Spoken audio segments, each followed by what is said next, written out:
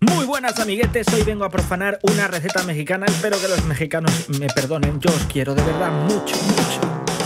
Pero no seas pendejo, no te metas con mi gente mexicana, hijo de tu puta madre. Fuck you, bitch. Motherfucker. Ya comienza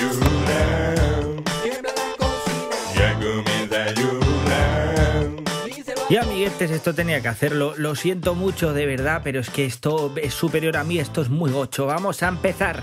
Un chorrete de aceite de oliva ahí bien cargadete en una sartén y unos 200 gramos de ternera de buena calidad, picada y con su poquito de grasita que le dé el punto. Salamos y añadimos estos condimentos que son unas especias mexicanas. Contienen comino, contienen ajo, un poquito de cebolla, eh, pimentón, todo, todo deshidratado. Lo añadimos un par de cucharadas y dejamos que se haga la carne hasta que se haga del todo y la reservamos. Vamos para el siguiente paso y aquí es donde está, pues donde la he liado básicamente.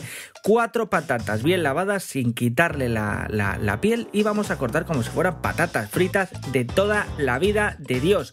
Amigo, las vamos a añadir y las vamos a hacer a un fuego lento bajo medio porque queremos que estén muy blanditas, ¿vale? Aquí no queremos patatas fritas de esas duras. Vamos a coger una cebolla morada y vamos a cortarla en cuadraditos muy muy chiquititos, que no sean molestos a la hora de masticar y te quedan aquí el diente.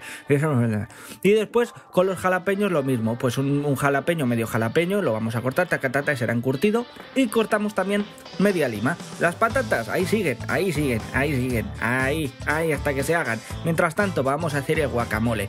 Un aguacate bien madurete que vamos a extraer todo lo que viene siendo la carnaca, esta carne tan mantequillosa, la vamos a chafar con un tenedor, le vamos a añadir el, pues el jugo de, de media lima o una lima, eso ya al punto el que le queráis dar vosotros. Yo normalmente le suelo añadir casi una lima entera.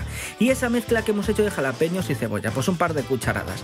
Removemos todo bien, salamos las patatas que ya están hechas, mira qué pinta, madre mía. Y ponemos un cuenquito, las patatas, la carne, llenamos así bien de carne. Una mezcla de quesos, cheddar, emmental, gouda y nos lo llevamos y le damos un golpe de calor en el horno hasta que se derrita. Cogemos un tomatito y a cuadraditos también. Y estos cuadraditos los vamos a repartir. Tiki, tiki, tiki. Mira, mira, esto va cogiendo forma. Esto va cogiendo forma. Añadimos en el centro el guacamole que hemos hecho y hacemos como una especie de volcán. Y dentro del volcán, creme fraise o crema agria.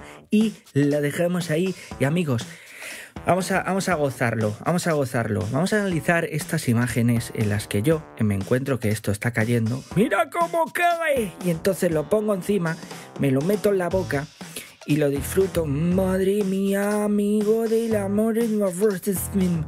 Y aquí estamos, amigos. Esto es unos, ¿cómo lo he llamado? Papanachos, ¿eh? Que suena hasta insulto y todo. ¿eh? Es un papanacho. Amigos mexicanos, pido mil disculpas, probadlo y después me decís. Un abrazote, amiguetes. El canal de Yum se come como con mama Cocina sin quitarte ni el pijama Y ahora dime quién da más Mira su vídeo dan jama o hambre Llámalo como te dé la gana